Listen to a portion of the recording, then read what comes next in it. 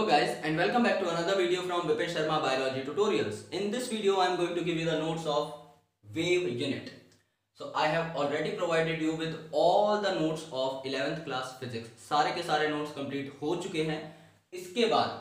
आप अपनी एक playlist बना सकते हैं You can make a folder or a list of your notes in which all the notes of 11th class physics will be in a particular format in the same format alright so आप उनको एक sequence में arrange कर सकते हैं so this is the last note of 11th class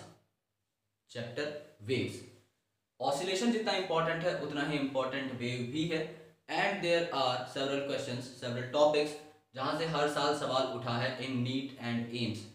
so this becomes a very important portion to be conceptualized जहाँ से questions आता ही आता है alright सो so, आपको जो नोट्स है वो मिलेंगे in the comment section just go to the comment section there will be a link drive link आप उस पर क्लिक कीजिए और आपको आपके नोट्स मिल जाएँगे. Thank you so much guys for watching this video just hit like button and hit the subscribe button for VSBT